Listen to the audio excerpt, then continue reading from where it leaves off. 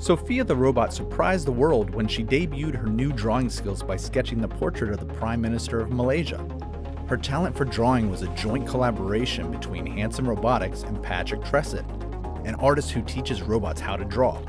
Before Sophia ever puts pen to paper, she uses her eye cameras to take a photo of her subject, processes the photo to find the right balance between dark and light, and removes the background around the face. Her software turns the photo into a sketch and then translates the sketch into lines and curves in 3D space. Only then is Sophia ready to begin. Sophia uses her specially calibrated arm and a custom easel to perform the precise, quick movements required to draw on stage. Though there are many robots who know how to draw, Sophia's achievement is unique in that she was able to learn using her general purpose, small human like arms. Not only can she draw, she does it in style.